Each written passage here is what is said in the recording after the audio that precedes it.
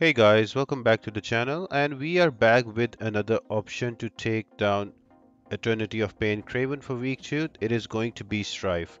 Now I'll be honest with you, I got this solo only on my second attempt.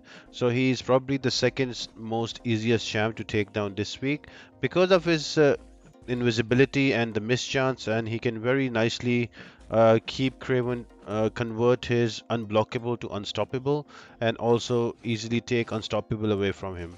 So the key here is to throw your SP1 so you can break the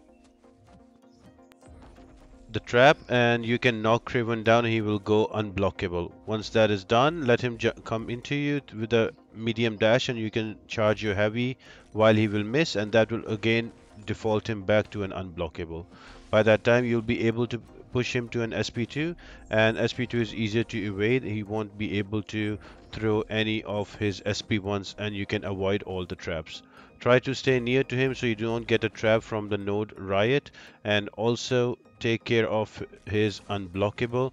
Another thing when you will use a heavy attack while he's unstoppable he'll be passively stunned. So that will give you an opportunity to go back in and attack him. So simply put the rotation is going to be throw your sp1 wait for him to dash into you, throw your heavy attack, he will be unstoppable. And when you throw a heavy attack the unstoppable will be removed. And he will be passively stunned. You can go back in and start hitting him and uh, go push him to an SP2 and SP2 is easier to evade. And you can keep doing that. So right there, that's an SP1 invisibility, wait for him to come in, charge a heavy attack, passively stun, push him to an SP2, and you can repeat this cycle over and, and over again.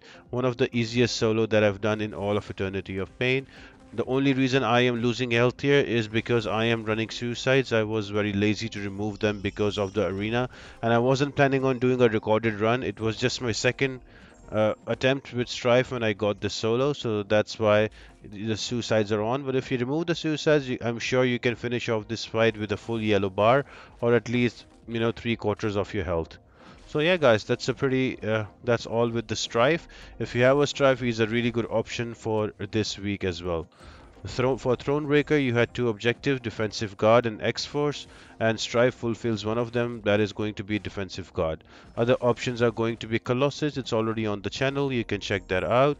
And also you can do cheese it with Doom, the Doom cheese is by far the easiest one. If you haven't done Eternity of Pain ever, but she is available for you, I would highly recommend you go for Doom cheese and you should be able to get it done. For X-Force, Colossus also fulfills that objective and also there's Archangel although I would not recommend Archangel because that's a very RNG dependent fight. Sunspot is a good one there's also Storm and you can also use Psylocke and if you are Paragon then both the Venoms Venom and Venompool will work really well. Anti-Venom is a good option. Null is also another option.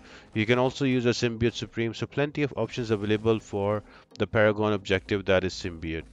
So yeah guys, I hope this helps you out. There are other options on the channel, so check them out as well. And I'll see you on the next one.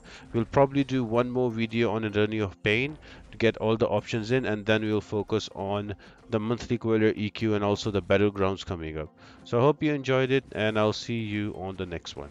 Bye.